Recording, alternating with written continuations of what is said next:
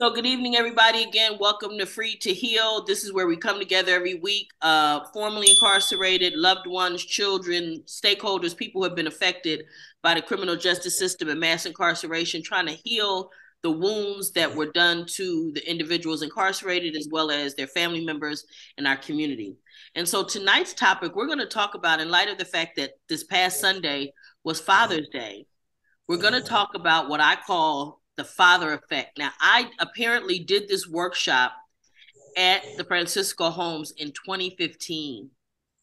Um, and I think this is the first time I've done it since then. One of the things I found out in doing that workshop was um, the impact of being fatherless. Um, a lot of men don't talk about it, and I got a lot of folks clammed up on, on I you know on this topic. But so this is how it started off. Many people grow up without a father in the home. The effects can be wide ranging. There, there was a report that a prison staffer recognized that on Mother's Day, there were lots of cards and notes being sent to mother. On Father's Day, he had none. Uh oh, I got Shut the motherfucking front door, y'all. Mom home, girl that rolled up on him. What? I said you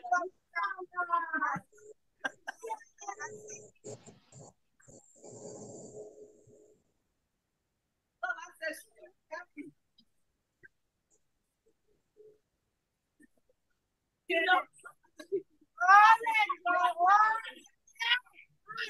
Get a chair. Get a chair. I need you right here. I need you right here. Oh wait, okay, wait. My board president is calling. Sorry, y'all. Hold on.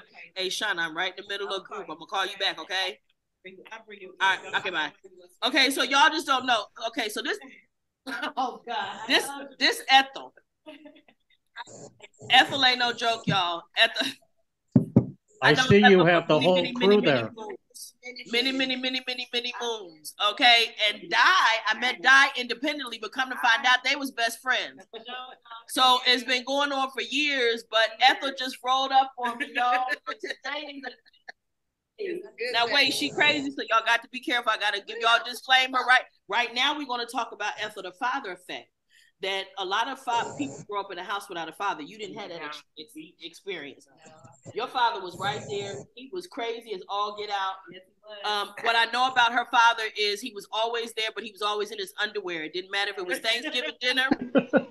Lionel and Lionel, Mr. Bradley, his name was Lionel, just like you. And he used to look. We didn't care. We already knew.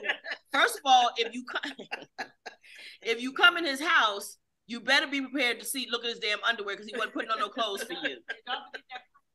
The pint in the pocket, right next to the underwear. It's in the pocket to the pants that's on the couch, but that's a whole nother story. Okay, but this is the thing. So, but the wide-ranging effects of Ethel of growing up in a household without a father can can change. They could be a lot of things. It could be devastating. It, it affects the way that we see the world and all kinds of things like that. So just they talk about the, the staffer talked about the fact that in prisons on Mother's Day they see a lot of cards going out. On um, Father's Day they don't see so many cards going out. So now a lot of men, particularly in this circumstance, have done long periods of time and didn't have children. Wait, hold it, y'all in the back. Oh, the peanut got. I'm sorry, we doing it again. Uh, okay, I'm sorry, I just got okay. here. I'm sorry. Rufus, can you come get the people? Rufus, please come get the people. This, is the week, Rufus. You need to be down here. Rufus, Rufus, we, I need you to come get them. They misbehaving. All right. We need. I need a way. sergeant at arms to keep them quiet in the background while we trying to have a meeting here. I'm on my way. But Mr. Hall, he said you were so busy primping in the mirror that y'all couldn't get over here. But that's a whole nother story. We're gonna talk about that later. We're gonna talk about that later. but anyway, so um, this alone leads to a very sensitive issue that men don't often talk about, and that's the father effect. The effect of not having a father. Um, and so I have a series of questions that I ask, um, that I'm asking. And one of them is, was your father in the home? So I need, I need, um, I need folks to jump in and tell me what the situation was with you because what I'm asking if if if he was in the home, was it a good relationship?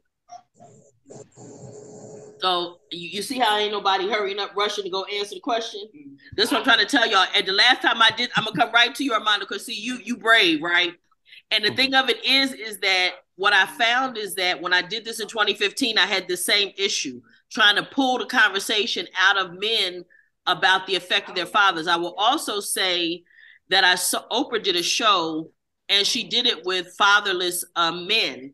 And one of the things that they said is that having growing up without a father leaves a hole in the size of the heart of the fatherless child, the size of the father. And so um, when when that's not there, it's just there's a certain. I was talking to a friend the other night, and for example, okay, the three of us, we've been friends for a long time. She is always in charge. This one, okay? She bullies us. She tell us what to do. That's the bully. That's the bully. But we already know that. I know she's she's surprised, but me and her, we not. So what I'm saying that to say is this: whenever we all get together, the dynamic in the room kicks in, whether we mm-hmm. thinking about it, whether we don't. We already know Ethel in charge, okay, mm-hmm. and we just mm-hmm. honor that. Well, that's what happens in families and in communities. It also happens in gangs, right? There's a hierarchy. There's a level of there's a there's just a way that people function. So when you start plucking people out of the equation, things start to sag in certain spots and you get a response to that. So when you start pulling fathers out of homes, grandfathers out of homes where fathers might have been missing, you wind up creating a dynamic that is unhealthy for the community. But Armando, I want to come to you and let you answer those first two questions. Um, what was the first question about? The first question was your was your father in the home, and the second one was if he was, was the relationship a good one? Um, I was blessed to have a mom and a dad growing up. Um, I was born in '72, so I was born with a '70s generation dad. You know, a lot of uh, sternness, whoopings in the house. You know, um, but in 1984, he turned. He, we were raised. He was alcoholic. Um, he was very abusive to my mom, verbal abuser, physical abuser. Um, but in 1984, everything changed when he became a heroin addict. So, you know, with that, he sold everything. As, as anybody's familiar with heroin addiction, you know, sold every single thing. There was nothing in the house. So basically, he checked out. He started doing time in prison. Um, and that's when I started running away. He started getting too much in the house. I didn't want to be there. He when he'd go to jail, it'd be like, wow, it's like a it was like we were just all happy he was in prison, you know, the opposite. But um when I, I don't blame him now going through the work, you know, I cannot blame dad. I, you cannot blame anybody. Um, but he had a very big impact on, on our lives when he turned to heroin and he basically checked out on us, started going to prison, started turning the house into a heroin house, you know, all kinds of people going to the house, living in the house and all that stuff. Um, I started smoking, uh, started drinking more and doing crack cocaine and started, started stealing with him and stuff, even, you know, um, he was abusive, but when, when, when, when that heroin addiction happened, that is when, cause you know, when you do the, all of us that have been down a minute know that we've traced the causative factors back to our where we where we veered off to the to, to that other path and it was during that time that he turned to heroin and and basically checked out on us that I started turning into with the homies and running away and I started uh, doing more crime and going to two camps, YA, life term sentence. 30 years later, back here, he died in 2007, um, hepatitis. But I just want to say that I couldn't imagine without him. I, I, I love my dad. I couldn't when he died. I couldn't even talk about him. I couldn't even tell stories without tearing up. I just I get all choked up. It took me years, literally. And even though we had that relationship um, that was abusive and and and all of those things, but I could talk about him now. Um, I, I like talking about my dad in the in these classes, you know, because I was fortunate to have him. At least I did have him, and I still have. I had love for him. I loved him, and I know he loves me.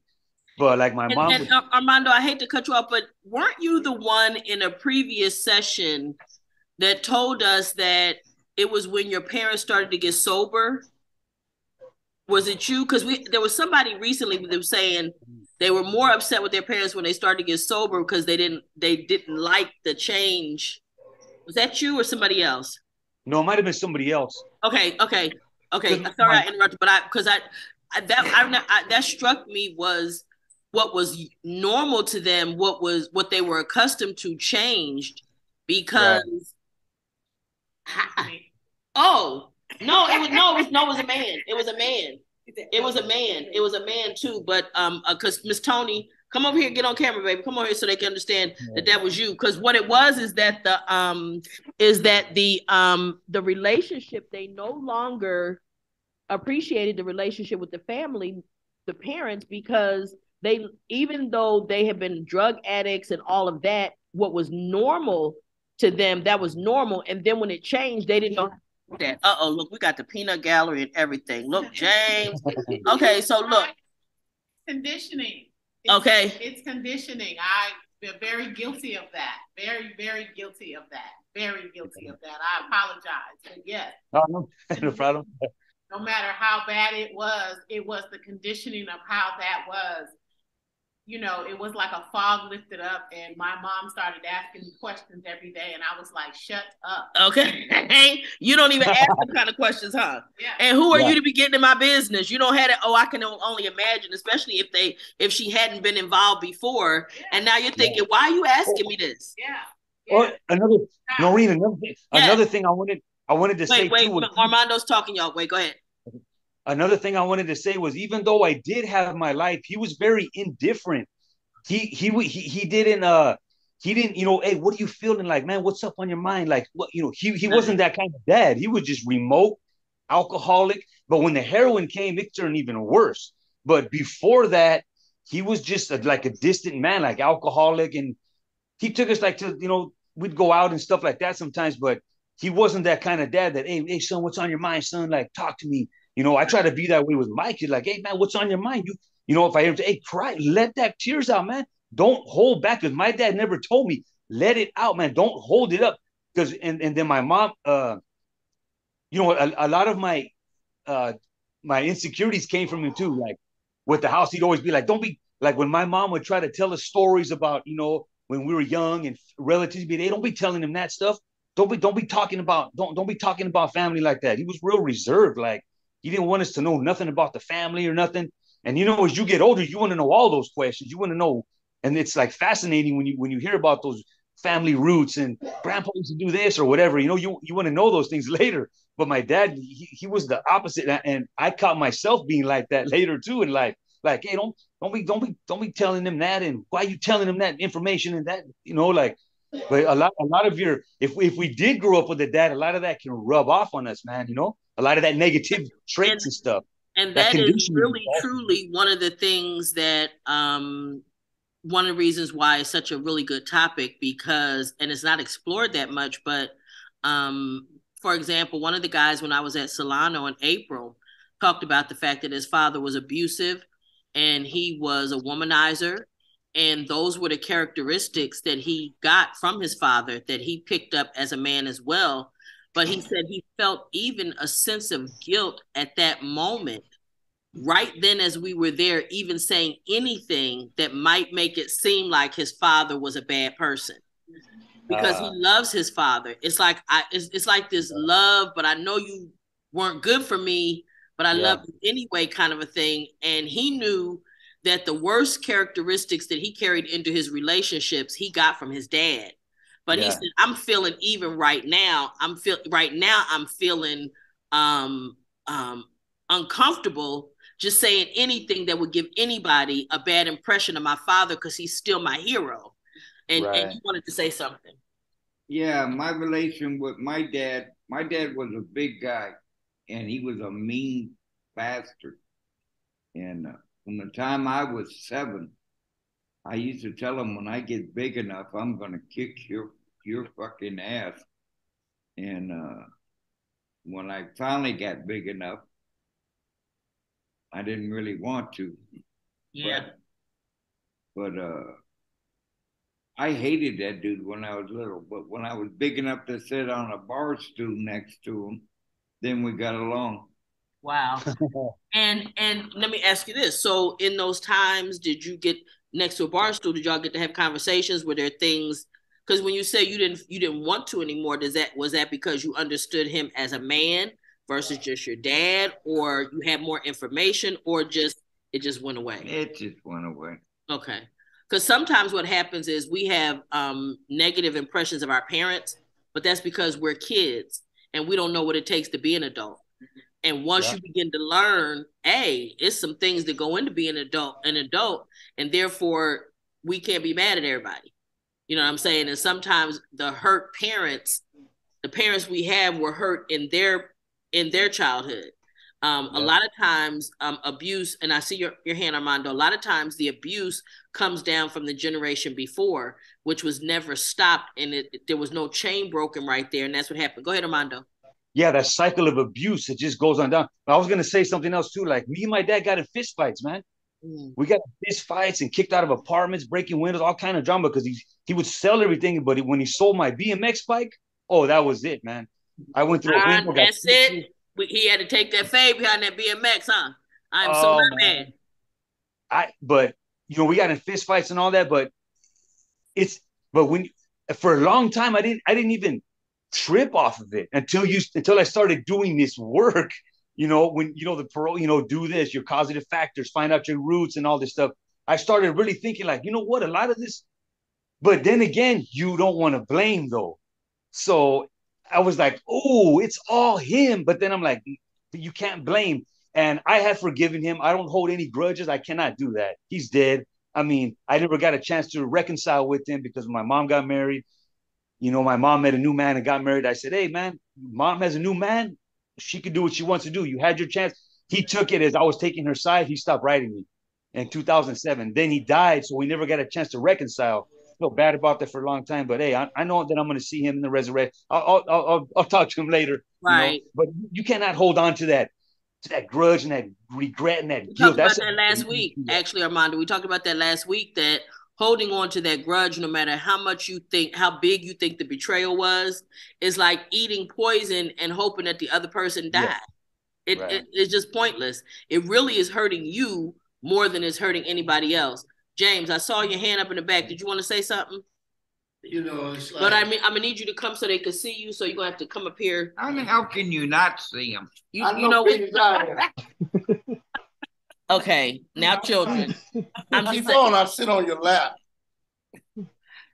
Y'all just don't know. Hi, Hello. baby. How you doing? Um, you know, it's like I didn't meet my my real father till I was 18. I want him. Y'all get an ottoman or something, something he can sit on. So I need him to. I need him to sit. Uh, yeah, he, he can sit right there. Yeah, there you go. Okay. There you go. Now we now we cook. I didn't, I didn't meet him until I was 18, and when I met him, he said something bad about my mother, and the first thing I did was put a 357 Magnum in front of him and said the first one to get the gun to be the one that put roses on the other one's spray. So my uncle came in between us, and that's when it stopped. And for years, our conversations were real screwed up because he was a poor example of what a father was. My stepfather was who I had respect for, with my behind every day. That man went to work every day. That man made sure bills were paid, food on the table. But my father uh, he just passed about a year ago. Was a year? Yeah, about a year ago. And right before he passed, he told me, he said, Man, I never hated your mother. I loved your mother. He said, I loved you, but I didn't know you. And I said, How can you love me and you don't know me? When I try to get to know you, you talk bad about my mother. I said, That's no way to get to know somebody. And then right after that, he caught COVID and he died. But then it's a, it's a point to where I had to release it because I started seeing the, the traits of my father in me with my kids. So now I just went to Lancaster, well, Palmdale, and made up with my son. And now I'm, I'm on this mission because my mission now is Last week we saw my forgiveness. Mm-hmm. I have to forgive me so I can forgive them.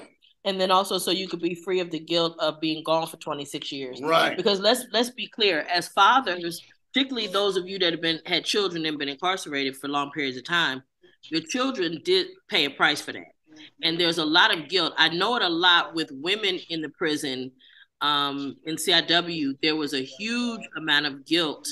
Um, and that's why there was a lot of suicide around the holidays, particularly um, Christmas and at November, the, the Thanksgiving, the Christmas holidays. There was a lot of suicides and suicide attempts because of the guilt of being incarcerated. But the one thing I say in these groups all the time, I don't know anybody who woke up in the morning and committed a crime that woke up that morning and said, Well, I think I'm gonna go on over here and rob this bar so that I can ruin my children's lives.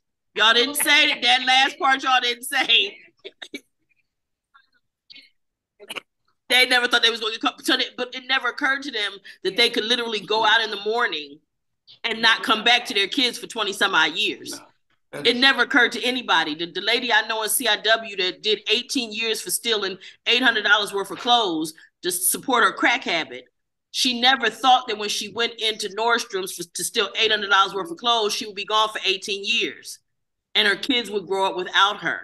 So nobody that, that I know of, and listen, I know a lot of people committed crimes. It's just kind of the nature of my life, right? But I don't know anybody who has ever said to me, I woke up that morning, I said, Yeah, I'm gonna go ruin my family's life. Nobody. Right. So again, and one of the things, so James, you're I want to ask you. I was good at it. Uh, right. he, he thought he was good at it, like Diane said, thought he was gonna get away with it. But let me ask you this: the the fact that your biological father was not in your home, do you think it had an effect on the way that you viewed the world? Yeah. Okay because I thought that I was discarded trash. Ah. I never carried his name. I was happy. So I mm. thought I was discarded trash. All my buddies, um, their fathers would show up at the career days. And, you know what I'm saying? And their their their fathers was doing this and doing that with them. Here it is. I played football, and I was headed to my path was to college because of my mother and my stepfather. But then when I look up, I never saw my real father. I want to see the man that looked like me out there being proud of it, about his son and his abilities to play sports. You know what I'm saying? To play baseball, to play football. Uh, I played soccer. I did karate. All these things, but where was the man that looked like me? Mm-hmm. You know, I, my stepfather man, I, I take my hat off to him twice. That man paid child support for me, and I wasn't even his natural born son. Mm-hmm. Just have visitation with me and my sister mm-hmm. when he divorced my mother. So, and and today he's still on that path. That's my son. He loved me unconditionally, and he was gonna kick my real father's behind. You know, because he said, "Man, you missed out on the best years of your son's life." Mm-hmm. They, they, you know, all three of us was together at one time. But then the thing is, did I did it, did it have an effect? Yeah, it did. And see, and my thing is, I want you to understand. I want everybody to pay attention to what the effect was. It made him feel less than. You got to realize that that takes a toll on the self esteem of a child when their parent is not there. So that makes a thing. But you want to say something else, Mike? Yeah, well, you pissed me off about my dad he'd go to a friend's house and their kids would come up to him and he'd go in his pocket and give him a handful of change. That mother never gave me shit. Okay. You know? Well, yeah, see, and, and like you say, like Diane is saying, he was showing off. He was showing off, but oftentimes parents don't realize the impact of that. I need somebody else to talk to me, somebody else. So thank you, um, Armando, for um, for for giving us all that you know input and everything. Somebody somebody else had a hand. You sure? Yeah. Where's she at? I can't see her. She's right. So you need to come up here, baby. Slide around, slide around. Come up here, so you can talk to us. Yeah, sit in the hot seat. How about that? How about that? Okay. So you're saying about parents who aren't there. Let's talk about one who was that that's what I'm saying, the parent father who was there. So I dated this guy and he used to fight me. Well, not fight me, but he beat me up. And the father said to him, Son, if you got to fight the girls, why don't you take them to the beach where nobody could hear you? So for him to condone him, and I said, Your father was a horrible person to even tell you that. He was absolutely horrible. And the boy had really, really messed up life because the mother was messed up because I figured that the father probably used to do stuff to her, but the mother was messed, she messed him up too. And I kept saying to him, after I got out of prison, I would talk to him. And I said to him, You must look like somebody that your mother hates. And he looks just like his grandfather, who was the mother's father, who the mother hated because he was she was he was molesting her. The father, her father was molesting her. Mm-hmm. So No way. and that's a thing because you can um you can be there, but you can't you can be a detriment to them. You can be a Yes. real detriment if you're not the kind of father that a person needs. So thank you. Yes, and sometimes, um, so I have some friends that I encourage to stay together, Don't run Um, from a hot seat. and um, and I actually, in hindsight, now wish that I had not because they argued so much and said such horrible things to each other about each other in front of their children that I'm concerned that their children, as adults now, won't be able to have healthy relationships because the the concept of being nice to each other, just talking to each other like they civil, um, instead of screaming and yelling on each other and constantly calling each other names and all this. Th- that's what they grew up with. Where it might have been better had they separated and he just had to pick his kids up periodic periodically. I don't know. That's abuse on a child. It is. It is to subject a child to living in that it is definitely abuse. It's definitely abuse, and oftentimes people don't see it that way. My my sister, Uh huh. when she married, because my mom and dad used to physically fight all the time. She told her husband, she says, You can only hit me once. She says, You don't get a second chance. hmm And he did. He hit her one time and she backed up and the kid and out the door. She and she told the second husband the same thing. You can put your foot through the, the TV if you want to, you know. But don't hit But me. yeah, you can punch the wall. Now, what I want to offer to you is this. um, her response to all of that abuse and that violence in the household was one one way, and yours was something different, right? You responded to it differently, liking the fight and a bunch of all that stuff. That's how you responded to No, it. I didn't like when he when he hit mama, but No, no, no, but, no. I said, but you like to fight. yeah. You uh, like to fight when you was a kid. Well, my dad told me to. He said, if I ever catch you from running from somebody, Mm-hmm. he said the ass whooping you're gonna get from them ain't gonna be shit to what I'm gonna give you. Okay, now see, okay, now that's that's daddy in the household. Would anybody on this on this Zoom or in this room agree that that's a good thing to tell a kid? it's not. Okay, it's not because what it causes you to do is now you're so scared not to fight that you might take off first. You know what I I'm get, saying? I get good at it. What? What? d- Duh. Yeah, duh. He got good at it because it was either that or let the, the man that was tearing up his mama beat his behind. Come on now, let's be. So what I'm saying is, is that your sister's response was, "I will never let a man do that." Now, mind you, she didn't say he couldn't be verbally abusive. No, She didn't say he couldn't tear up the house. What she said is he can't hit me. Now, and I don't even know that that's healthy. I'm just talking about if we just really talking about the definition of what's healthy and verbal abuse is abuse no matter what it is. And so, Mr. Hall, I'm gonna come to you. I'm gonna pick on you today, Michael. Mr. Hall, I'm coming to you right now. I want you to talk to me.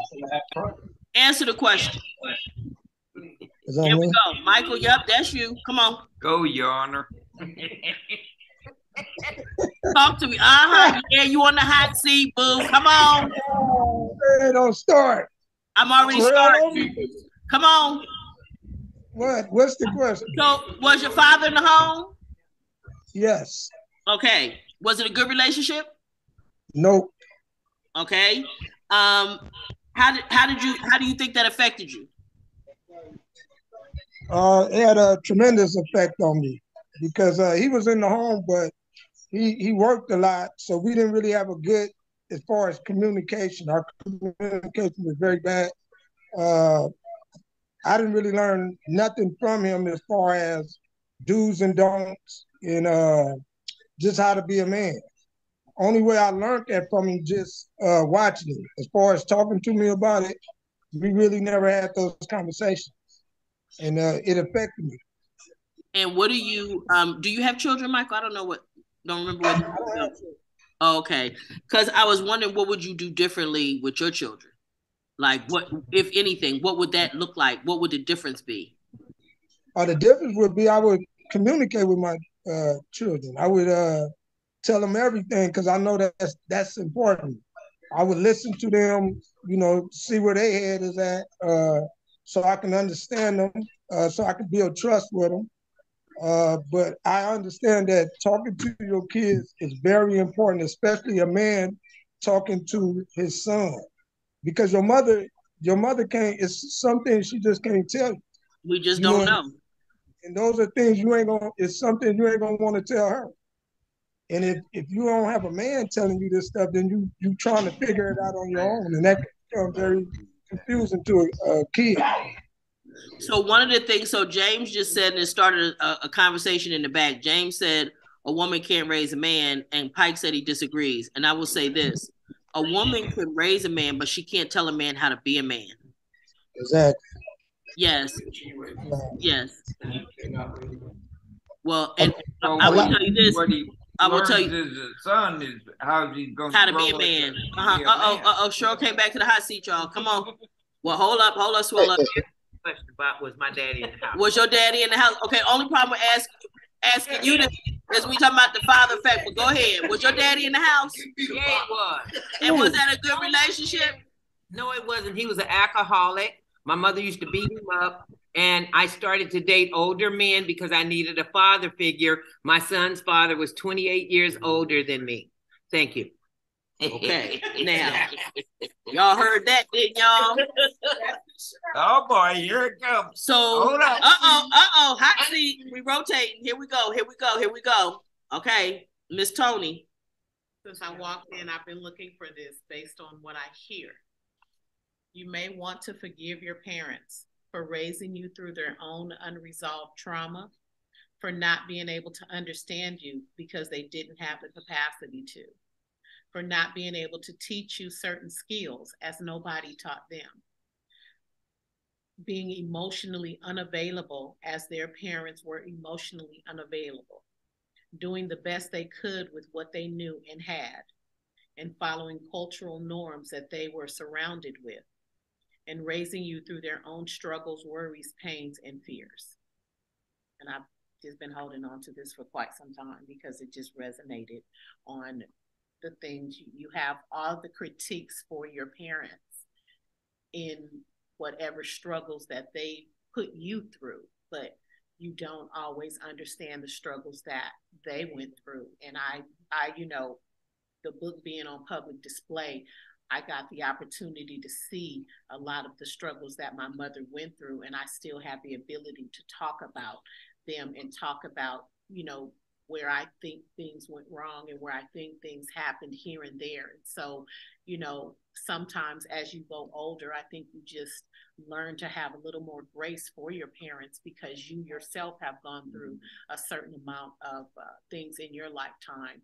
And, you know, just at work today, I think I said probably in five different conversations, no one is perfect. Mm. Right. That oh uh uh Pike Pike Pike decided that he is perfect. So y'all know we're gonna ignore the fact that Pike said he was perfect. We just gonna keep right on moving along. We just gonna keep right. On. We're gonna step right over that with Mr. Kane. Mr. Kane, go ahead, talk to me. Answer answer the question. The first question is uh, uh, was your father in the home? He was uh, in the beginning. He uh, but he was very physically and uh, emotionally, mentally abusive. And uh, when he started uh, his business, he was basically absent from my life. And then when I was in college, he decided to leave our family. and then uh, after many years, he came back. So I had a very, very difficult relationship with him. The strange thing was, is though, is uh, when I was young, after he would beat me, he would show me intense love, right?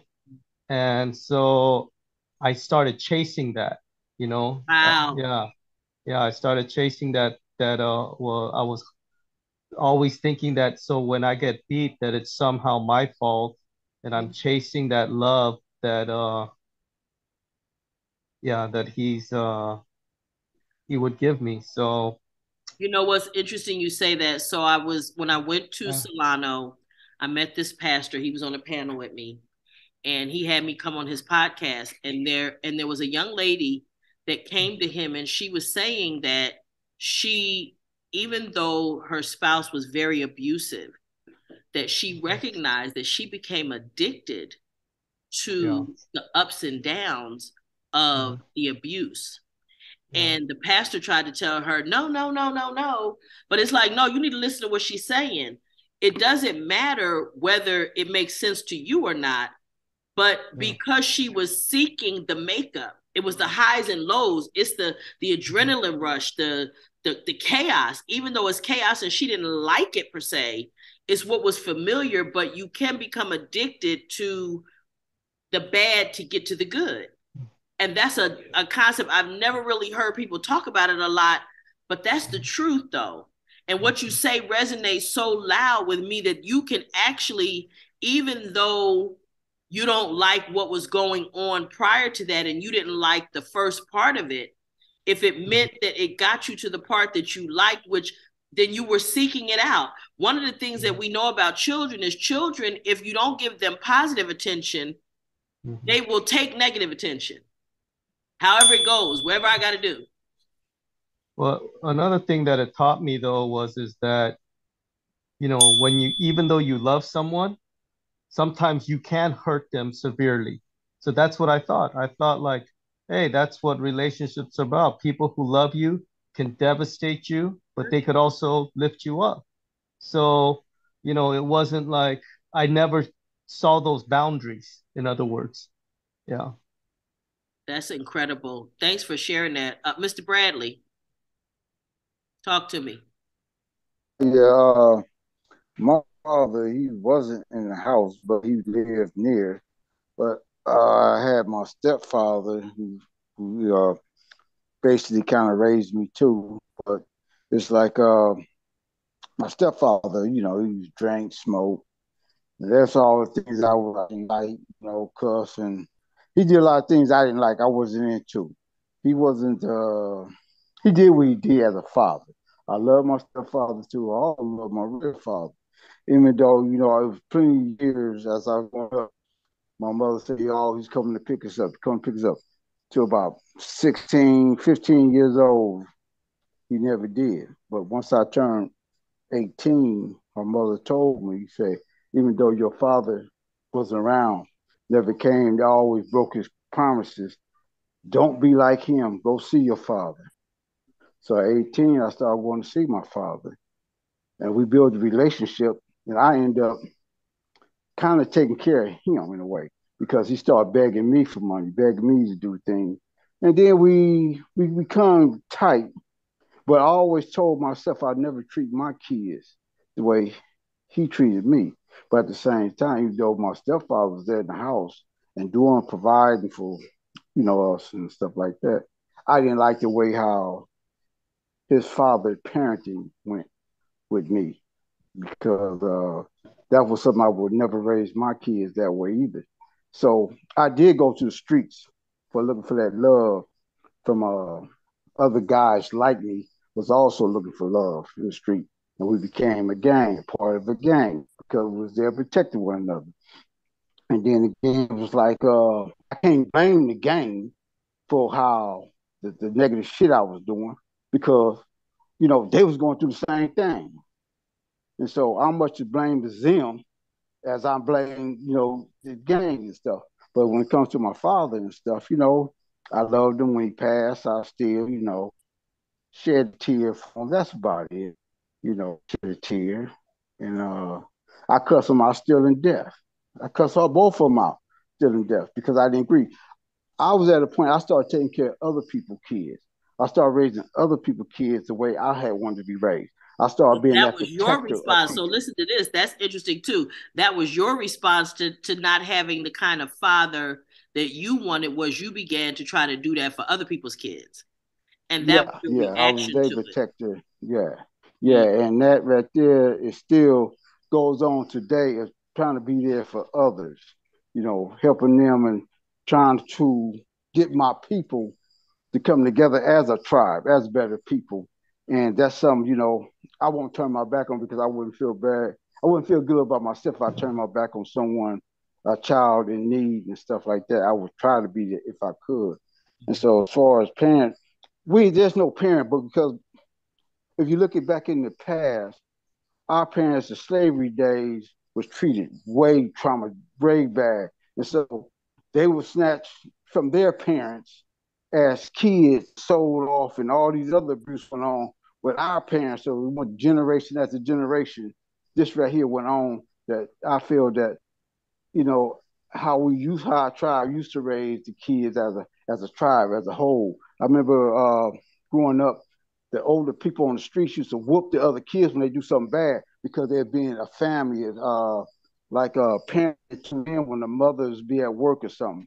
And then like my mother, strong woman, you know, all the boys looked at her, looked at her for for guidance. When something went on negative, she was there to fight with us. My stepfather wasn't there to fight with us, and my father wasn't. Father soft, you know, but yeah, but my mother was that strong person, just like every strong man needs that strong woman. My mother was a strong woman for all the boys. And so your father, your natural father, was close by, and you got to go see him while you were well no up? he he never he never he he never when i turned 18 years old that's when i went to see him he never came to see me so basically you know, your, took your whole childhood really you didn't have him there no i didn't have him there but I, I, saw him i saw my real father every now and then but my okay. stepfather was there for me was there all the time but he wasn't that father figure that i wanted in my life Got you. You know, he's abusive and stuff like that with the words, drinking and stuff like that. You know, there's certain things I didn't like in him, but with certain good qualities about him at the same time. So I can't take that away from my stepfather because at least he tried. Mm-hmm. He was it's there. like, you know, like I said, yeah, ain't nobody perfect. And no nobody have a, a book to how to raise children. They do the best they can. No, they don't come with a manual yeah, especially for a person of color. There's so much we have to deal with, you know, outside the family just to make it home and stuff like that after going to work or being in the streets. We go through a lot as people of color. So therefore I can't blame them for what they went through, how they treat me. Only thing I can do is try to make myself better, prepare right. myself and try to help others. So yeah, you know, I, I, I love my stepfather, I still love my father.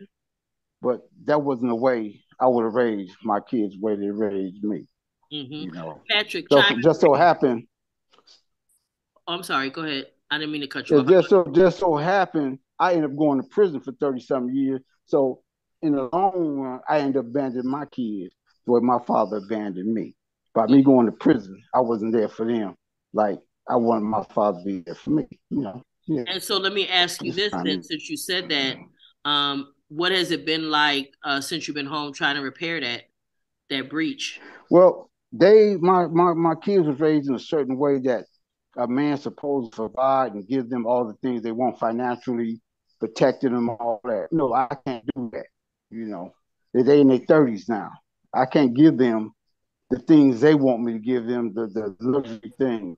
I can't be there to fight their battle with their boyfriend. That's the police job. You call the police. You don't call me. You know, I get out of prison and go do some violent act towards another human being because I know myself and so I know my triggers. I can't be around that type of stuff because if I snap, if something trigger me, you go back to prison. I go out. No, I'm not going to prison. It's going to be a. I'm not going to prison because I know the consequences behind prison. I wouldn't get out again. So therefore, it's it's it's you know yeah I, I can't I just to, step over that line because I know the consequences behind my actions. I'm not going. I try to avoid all this. Just like I drive down up and down the street, this road rage. I'm not going to buy any road rage because I know me. That pass have a good day and smile. I make excuse for these people. They must be in a hurry, emergency, something's going on. See, I go through life trying to find positive things within the negative things of life. So yeah, I'm not going to prison.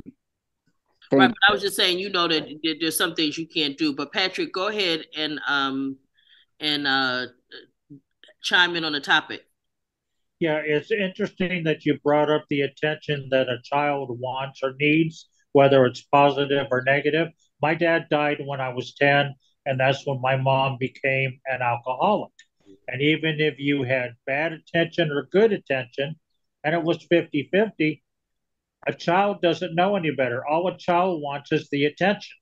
Mm-hmm. So you put up with the bad to get the good. So, like, you know, when there's abuse and then there's love, you don't think about that when you're 10 years old or 12 years old or 15. You just want the interaction, you want the attention. Mm-hmm. And that's something that we're all affected by. And again, it's another form of trauma. But let me ask you this because your the circumstance of your father not being there was for him to have died do you how how how different do you think that was versus him being alive and not being and just not being there do you think it would have been different it would have been different just because of the interaction whether uh, he was actually there to help or not there he was in the military so from time to time he was gone anyway as part of his normal job so a child gets used to that. He's there for six months and then he's gone for six months. And during the Korean War, he was gone for a whole year. Mm-hmm. So, you know, that you don't understand as a little kid either. And then, you know, you you add the other stuff in there. And I was fortunate my mom and dad loved each other. So there wasn't abuse. And then, you know, for me, there was abuse through abandonment or abuse through uh, my mom's alcoholism, and that you don't understand. Now we realize it's a disease and it's psychological. Back then, you just thought it was a willpower thing, and people were doing it because they wanted to. People didn't have a choice sometimes. Yeah. Certainly, once it becomes an addiction, it certainly takes over and it takes the, you know, the, I mean, it's more than just something that I want. You know, it, it and addictions consume everything well, uh-huh. that's what it was interesting. You brought up the fact about the addiction of the attention. That mm-hmm. became an addiction. You wanted the interaction with an adult figure. And sometimes it might be, in my case, my mother, or it might be a relative that was uh, a parent figure. Mm-hmm. And, and you want that interaction. So that becomes an addiction. Wow, that's that's that's powerful. Thank you. Um, what do you want to say? You know, I never wanted to have kids. Not only I knew I was going back to prison all the time, but knowing I'm was kind of like my father, mm-hmm. and I never thought he was a good father. So you didn't want to continue that. I didn't want to continue that line. Mm-hmm. Yeah, you, you, know, and and people often make that choice, uh, consciously make that choice not to have children because of the way that they were raised. Um, Oscar, is there anything you want to add to the conversation? You have to unmute, sir. Unmute. Wait one second. Unmute because we can't hear you. Stop her leg. Try it again. Up and down. Unmute. You see the microphone?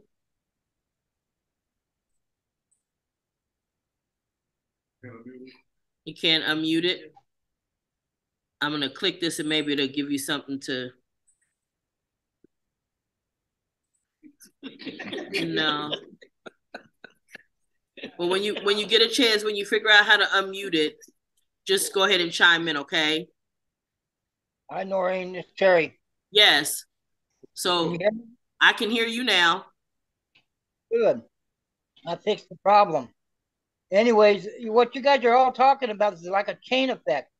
You know, you start with your father, the grandparents, and their grandparents, and their father, and their father, and so on. It's like a chain.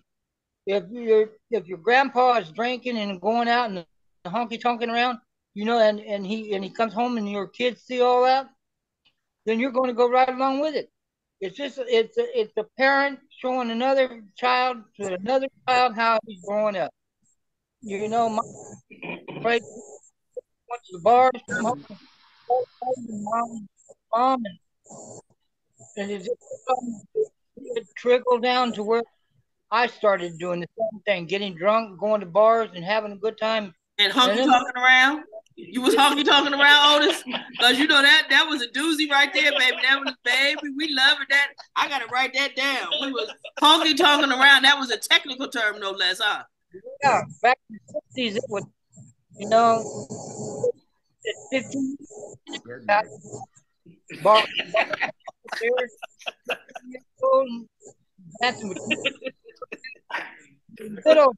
I can't hear you. They over here laughing so hard because they laughing so hard. I can't even hear you talking. Wait, wait. Let the peanut gallery quiet down. It's like a trickle uh, effect. Uh, you're going to go along with everything your parents. You're going to you. And then you're going to see your uncles, aunts, nieces, nephews, and everybody else doing the same thing. Yes, so you will. It's just a it's a terrible thing to see.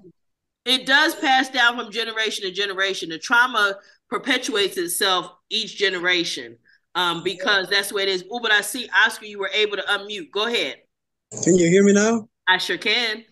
All right, good. Yeah, just checking. Well, uh, when I born, my father abandoned me and my mom. It was hard for me because she was a single mom with five kids. Mm-hmm. When when he abandoned my family, uh, he my mom became alcoholic. She started drinking. And she started to be aggressive front of us. And my brother take care of me, but he was abused verbally and physical. Like two years later, she my mom decided to send to me with my aunt.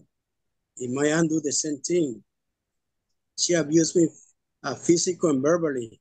And she don't like when I go to play with kid. Every time I see the kid, affect me very bad because every time I see the kid, they had their family. Mm-hmm. Yeah, it's okay. It's okay. It's okay. They got toys. They, yeah. they celebrate birthday. They buy gift for them. They buy a clothes. They give you everything. They take to the park, to the movie theater, everywhere. I don't want nobody around me. Yeah. I feel abandoned from my father and my mom.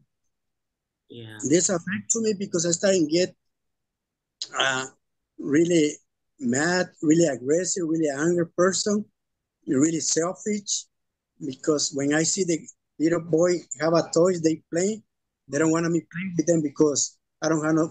They always told me, "Oh, you cannot play with that because you don't have no father, you don't have no toys." Mm. I started get mad and I started destroy their toys. Uh, That's right. You won't let me play with my tear your shit up. How about that? Now I won't play and neither will you. Right? That's the yeah. that's, that's the mind of a child, though. Literally a kid will do that. Oh, if you're not going, I watched my granddaughter do it. In fact, the other day, her little cousin, she was playing with the Lego blocks, and her little cousin um wanted the same block she was playing with, and mm-hmm. so my my granddaughter didn't want to give it to her, and her cousin went and just knocked the whole thing down and walked past it. So she's like, "Oh yeah, you don't want to play, you don't want to let me play. Well, you won't have it either." But wait, this, this, is my granddaughter though. It don't matter because I'm gonna build that shit back up again, and you still not playing with it.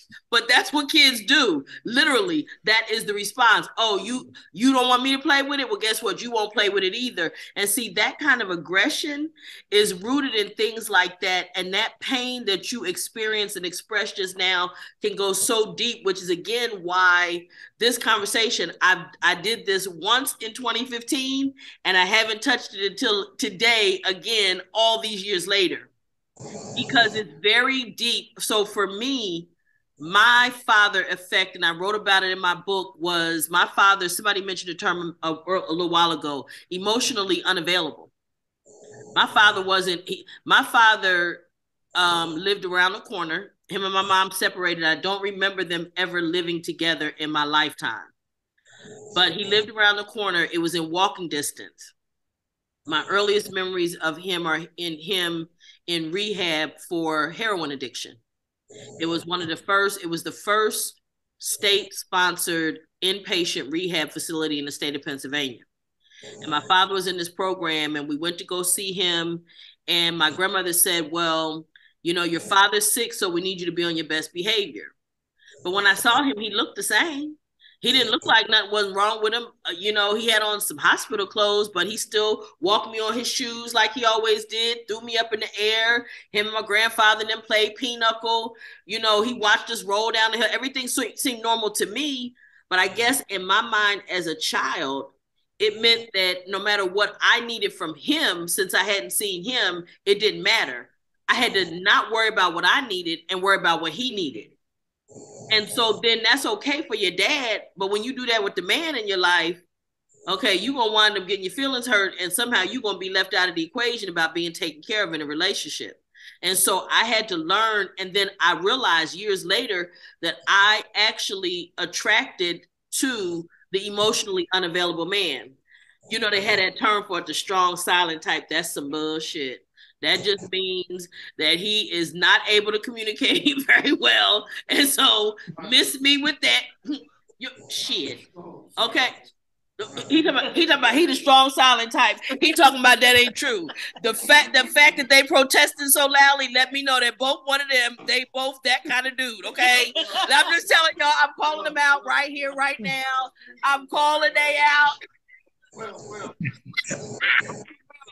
Okay. Okay. Get out, Noreen. Bye. Okay, take care.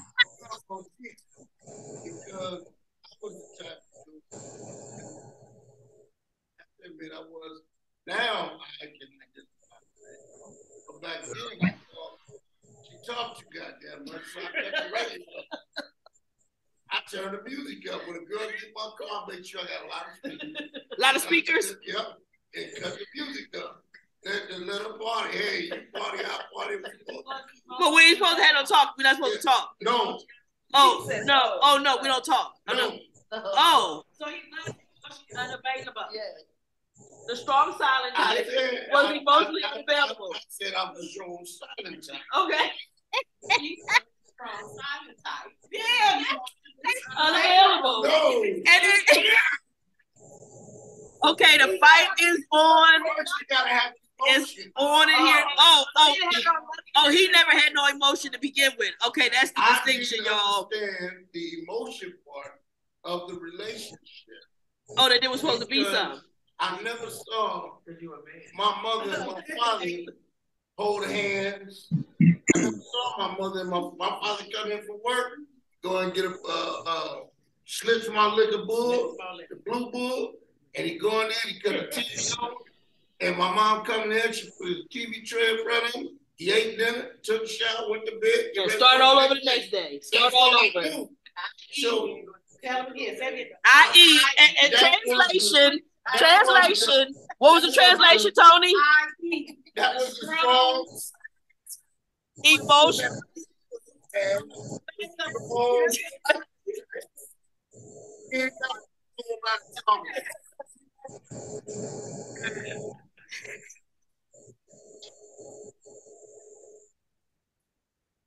Okay. Okay. Now, what's your story, Mr. Terrell? Yeah, see, because you over, you've been awfully quiet. You've been awfully quiet all day. Yeah, buddy. What's happening? We want to hear this. No, I just, I just want to say this. It's, uh, it's genetically pulled in. I mean, it's in your genetics, but if you grow up with that and it's continued to be triggering, it's it's like you don't know why you are, but your dad know, your mom know, because they know the the What's they know the lineage, down. they know the lineage of what you are, but you don't know that. And then if you a, that part of you gets triggered as a kid, or you see that and you traumatized by it, you really don't know because you don't know yourself more than your parents know. But those genetics get get passed down. You know, just like the just like the mental the mental illnesses, the the the, the chemical effects, all of that shit gets passed to your genetics. And the trauma that you go through, it it makes you who you are. And as far as uh the silent, say the silent strong silent type, emotionally unavailable. I'm the strong silent type, and, and emotionally I'm, unavailable. No, I'm I'm very emotionally available. I just be thinking about my next move because when I get started, I'm I'm a thinker, so I think mm-hmm. outside the box. So it's not that I'm uh, detached emotionally because I'm very attached mostly. I know certain things, and I've always been like that. So you know, even when my dad was alive, he's like, "You're a better father than me," because I already knew how he was with me. I know he didn't teach me shit, pretty much. You know what I'm saying? And he was in the house till I was seven years old. My my uncle taught me how to be a man, how to be a father, how to be a family man, all that shit. So I just knew I had to be different than my dad. You but I'm gonna challenge you. I'm gonna challenge you right here and right now, because I'm gonna tell you why. I'm gonna tell you why. Let me tell you why. Because let me say this. Because let me say this. Wait, wait, wait, wait, wait, wait, wait. Right to you, but this is what I want to say. I'm not. You also are the one who refuses to get involved in an emotional relationship with anybody because you don't feel like you're ready to do that right now. So either so so that is emotionally unavailable, no, is no, it no. not? It's, it's, not that I'm not ready to be emotionally involved. It's, it's the fact that I I just got off paper. So for one, if I'm goddamn government property, I ain't even my own property. So I don't feel whole in myself to give nobody more of me than what I am have myself. So now I'm I have my um uh, that, uh, my all the peanut galleries still say emotionally unavailable. We still because it's a lot of bullshit out here. now we so well, translation translation emotionally Hey, hold it, hold it, y'all. Because look, this is the thing. Whether no matter how he want to fix it, twist it, he um, ain't. He don't. He don't want to be invo- involved emotionally. Okay, that is oh, part of it. And listen, and listen, and Terrell communicates fairly well. Terrell wrote a whole book. Okay. I've talked to Terrell. We talk for hours. We could talk on a whole lot of subjects, but that has nothing to do with intimate relationships and them willing to be emotionally available and involved with a woman. It, uh, it has nothing to do with that. And that's what I'm talking about is the effect that my father being emotionally available had on me in my choice in relationships. And look, Terrell, my type. But guess what? It ain't happening. He might have, he might have a little sugar in it. Did y'all hear what Pike said? Did y'all hear Pike?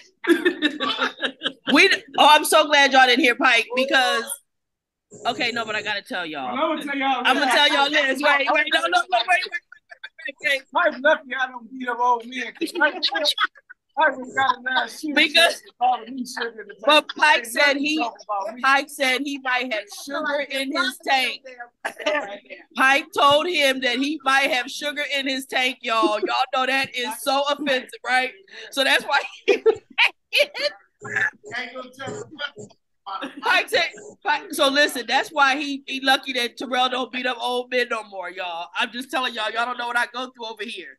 It is something else. But I just want to say to y'all, I, honestly though, but seriously, go ahead, baby. No, but for real, on some real stuff though, I mean, it's it's it's in us. But the thing about it, we have to change that that that negative connotation and the negative genetic that's that's instilled in us as fathers. Uh, I talk to my son on a regular, uh, something that my dad didn't do to me, and something I learned from others as well. But it's okay to vent to your your your, your kid. I mean, I mean, you guys been going a long time, so it's a different ball game. But you gotta let allow your child to allow you that space. You can't just barge into you that. You can't space. demand it. You can't demand it. You got to give them time because it's their life. You know, you've been, we've been going out their life, so we got to give them the, the opportunity to say, you know, to, to allow us in a space. You know what I'm saying? And then when they allow us in, our, in a space, give them an earful. Get them what you feel. Let them know how you feel for real because they gonna know bullshit from from some real shit, and they gonna feel it. They might not agree with it, but they gonna hear you and they gonna feel it if it's genuine. And you know, one you said that before. You've said multiple times in our groups that when your children begin to come at you and they say things, you just got to take it. And Yeah. that's important. You got to take it and you got to let them get it off their chest, whether you like what they're saying or not. What you have to do is you have to allow them to express those things. Yes, sir. I have I I have seven children. I have two girls and five boys. The hardest thing when I came home was to sit down with my children and put myself in the house. And whatever they said and however they expressed it, I had to take it. And it's not just one time. I gave them multiple times. And there's constantly, we're constantly replenishing, we're constantly purging what they're feeling because a lot of them don't understand what they were feeling at that time. And it may come up later in our conversations. That's why I tell you, gentlemen, when we were talking about being emotionally unavailable, first thing I tell a, a, a person coming out of prison is date yourself before you try to date somebody else. Because first you got to find out who you are, because you can't be good to nobody else if you don't know who you are. But like I didn't find out I liked it uh, uh, combination egg rolls until last week. Yeah. Yeah. I did. Right. I walked in my first day out of prison. I walked to Walmart. I saw the different kind of deodorants, and you know I cried because I didn't know what deodorant I liked. Mm-hmm. Mm-hmm. I didn't. It was too many choices. The toothpaste, the, the a bag of chips, holding money, holding keys, all them things were an issue for me. But my children were my biggest, not hurdle, my biggest uh, uh, uh, awakening. Because my daughters, college educated, my sons are too, and they all had these words. And I'm looking at these grown people that when I left 26 and a half years ago, they was little bitties. Now I'm looking at grown people with their own little bitties. Yeah. But you And know, you know, when, when you, no, hold on, hold on a second. You know, when you you go into prison, yeah, when you're young, and you do all that time, Mm-hmm. you're you're not even close to the person you was when you went in. No, No, that's for no. sure. You know what I'm No, saying? Because we I, went to I understand what you're saying. Yeah. I'm just saying that that when when you go in like and you start and, and you have to do the bullshit and all that. But when you come out after, you know, 30 something years, you're not even close to the person you was when you went in. And neither are your children. Neither and are in, your children. Neither, in his case, in 26 years, neither were his children the people they were when he went in. And so these these things create dynamics, and they create scars that because there's a sense. I'm sure they felt abandoned. They they they was abandoned. They felt rejected. Uh, my daughters felt like they wasn't um, they wasn't protected, not protected, but they didn't deserve to be loved Mm, the way they were seeing like on Hallmark movies, and the love and the the, the things. That, Yeah. That, that you know because it's what they're looking at. Little girls look at these Hallmark movies and they want the two and a half kids and the And the picket picket fence. fence, yes. I'll skip the this. dog. I'll skip the dog. Yeah, we're gonna skip the mutt, but you know, my daughters, I they, want the they dog. were, they, we are the dog. Um, they brought us home, but the, but my daughters were real verbal about. They said my letters were beautiful, my part was beautiful, but it was the hug that they needed when the boogeyman was there. Yeah, yeah. It was the it was the my daughter want to get pregnant again because she wants me to be in her house to go through the pregnancy. And she had four girls. And she was like, Daddy, I want to go through it so my daddy can hold me on them nights when I wanted to be held. And I wanted my daddy to talk to when I needed to talk to my daddy. Those are the times that we miss that a lot of kids that's turned into adults are scared to even verbalize to us because they don't know who we are. Our mothers have made us out as the boogeyman. The system has made us out to be the boogeyman. We have made ourselves out to be the boogeyman. Until they get to know you, and until you get to know yourself, you are still the book. We done been through the self-help groups. Not and if them. you took it serious, you you you've been through them, you purged, you figured out where you went wrong, the broken chain in the fence or whatever. But when we come home, they have never been in a psychological group. They have never seen the uh uh did nobody take their kids down in, the big brother shelter and say they need a big brother. But the big brother is not their father. It's not their dad. It's not that hero that was there when they was born that held them, that they listened to their heart. Those are the times that we miss. Those are the times that they miss. Those are the times that they still cry about. That you can't get back either. And you can't, don't try and to go look, back. And listen, tell your daughter forward. don't tell your daughter don't have none, none of one of them hard heads trying to recreate that moment, honey. Let just let just let you hug her now. Cause look, them kids is way too much work. No, she, It's she getting- got married to a woman. Okay, so it's getting. Oh Lord, okay. See, that's a whole nother topic. Yeah. Okay, so what we're gonna do is, I, I want to give everybody a chance. I'm gonna start in the room and allow everybody to have their final comments on the topic because we're we're we're getting uh it's 7:30. I want to give us an opportunity, and then I'm gonna check out with you guys that are on Zoom. I want to start in the back back here, um, darling. I enjoyed the uh, topic for today, especially what Miss Tony read on her phone.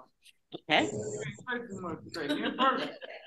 Thank you. I appreciate being here. Darling, any last comments back there from you? Yeah, you guys have to, um, like they're saying, in totality of all of this, you have to understand that our parents, long time ago, just like the guy that I said that used to beat me up and the daddy said the stuff. The mother's 97. She was in Mississippi. I'm sure her uncles, her cousins, and all the men were having sex with- her when she was a young girl because she did horrible things to her son.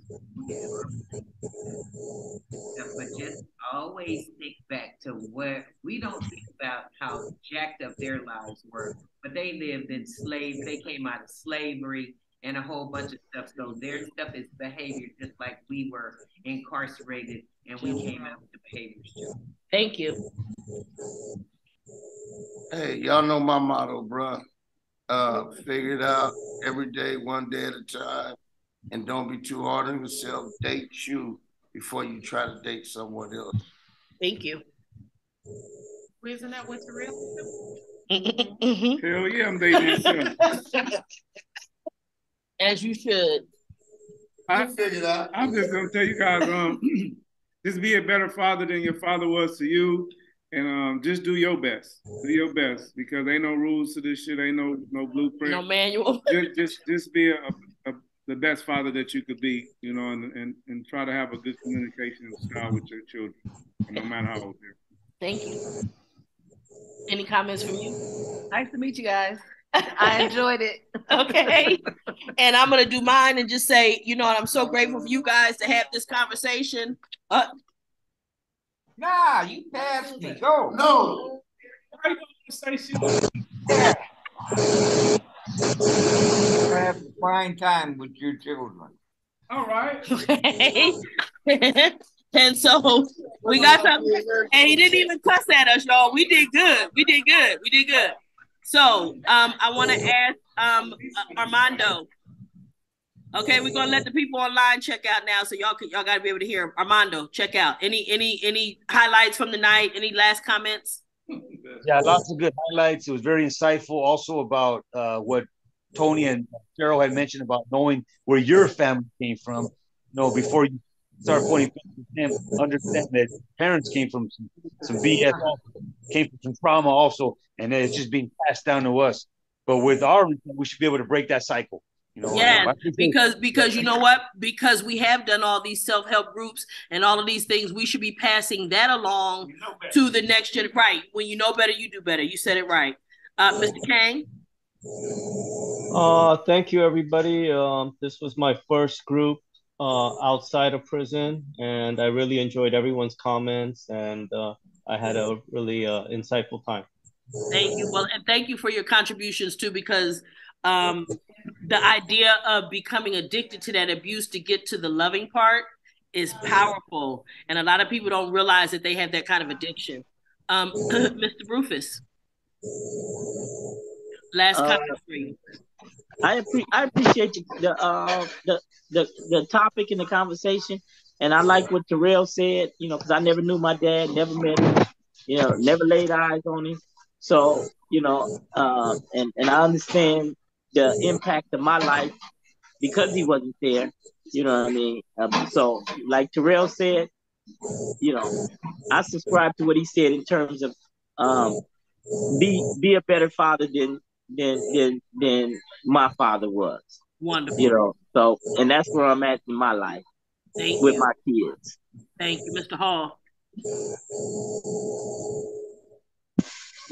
Uh, good topic, Maureen. Um, it was much needed, especially uh, for uh, those persons that's out there that don't have a father. We need to have these conversations because it is important. Yeah, yeah, and and it's painful. It's very touchy. You know, it's, it's very painful. It goes into very deep, hurtful places for people.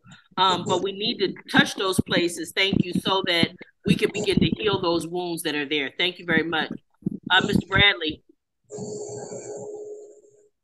Yeah, uh, James hit, hit a key point for me when he said about the groups, and that's something I did. A lot of groups, and there's a lot of things they don't understand now that I understand. And I got to say, you know, now follow your heart, listen, share with them, and you know, listen to them. And you know, sometimes you got to just explain what's going on, your emotion, your feelings, and don't be ashamed of being open and uh, honest with them and, and shedding the tear because they want to see that that you feel that pain that they went through too. And you know, Absolutely. that's what I take with you. Yeah, Thank, thank, you. And Oscar, last but certainly not least. No, Are you okay. unmuted already? I just want to say I'm sorry for my tears, but every time talking about my dad, always my tears come out.